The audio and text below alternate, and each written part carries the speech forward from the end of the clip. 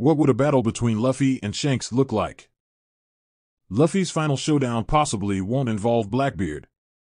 Shanks' hidden motives could lead to a clash with Luffy, causing a major turning point. Many One Piece fans believe that Blackbeard will be Luffy's final obstacle in obtaining the final treasure and becoming the Pirate King. However, another popular opinion is that another pirate close to Luffy may be in his way, red-haired Shanks. Shanks entrusted the Straw Hat to Luffy and helped him earn his pirate name, so it's only fitting that the final battle would pit Luffy against Shanks. In the 25-year history of One Piece, Shanks has always been a popular character for fans, despite his limited screen time.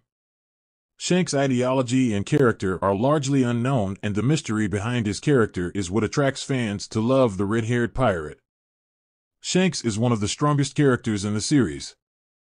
He is one of the four emperors and was on Gol D. Roger's crew when Roger found the One Piece. Because of his mysterious nature, many fans don't know the extent of Shanks' power or ambition. Even if Shanks wasn't aiming to become an emperor, he had to have some sort of motivation to earn that status. Chapter number 1054, Flame Emperor, implies that Shanks knew the true nature of the Gum Gum fruit when he stole it from a world government ship. Shanks must have known that it was the Nika fruit and that he wanted to protect it from the world government.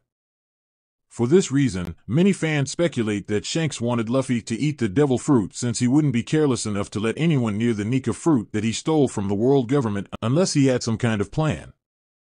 This is reinforced by the fact that he not only entrusted Luffy with the Nika fruit, but he also sacrificed his arm to save him.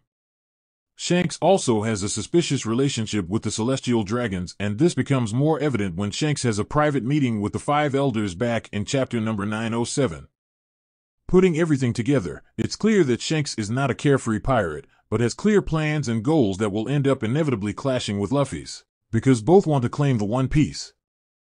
When they cross paths, then, it's unlikely they will collaborate, and a battle could ensue to decide who is going to be the new Pirate King. A battle between Shanks and Luffy would be intense and cause a dramatic shift in the world of One Piece. It might even have the same impact that Whitebeard's crew had on Marineford, where the world was forever changed afterward. The battle between Luffy and Shanks would become the biggest fight of the series as viewers would get to see Shanks fight with his full ability. It would also be a great chance for fans to see how much Luffy has evolved since the first time they saw Luffy and Shanks on screen together. Whether Shanks becomes evil like the other celestial dragons depicted in the series or stays a good guy like he is portrayed currently. The final battle will have mixed emotions as two fan favorites battle it out. If Luffy ends up returning the straw hat to Shanks after the battle, then this moment could become the greatest moment in One Piece that fans have been waiting two decades for.